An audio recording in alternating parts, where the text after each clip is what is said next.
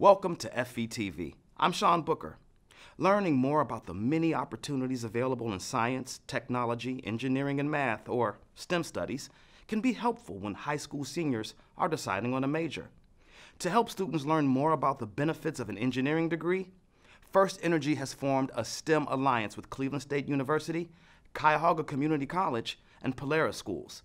Recently, the alliance held a student event at our Northern Region headquarters. We are at our Northern Region headquarters, the headquarters for the CEI, the Illuminating Company, and we are here with the Polaris program. Polaris is a STEM school and a vocational school in the west side of Cleveland. And what they do is they provide teachers in engineering out to the high schools to help students focus on an engineering curriculum. What we're doing here today is those students that are focused on engineering.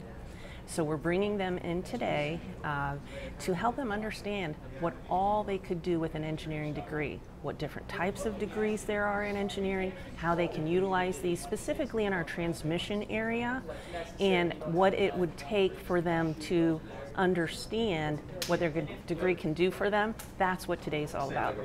What we've tried to do here today is to give the students a perspective of what we do uh, here at First Energy and the services that we provide. But we've also given them the latitude to come up with fresh new ideas as far as how we can provide our particular services. So we've pretty much given them a blank slate and asked them to improve upon how we do our business and to meet the demands of the future. And there's no better way of doing that than asking those who will be the customers of the future to come up with those solutions.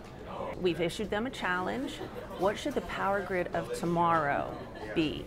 All the way from where should our energy sources be located to how should we utilize our energy sources. They could be solar, they could be nuclear, it could be coal.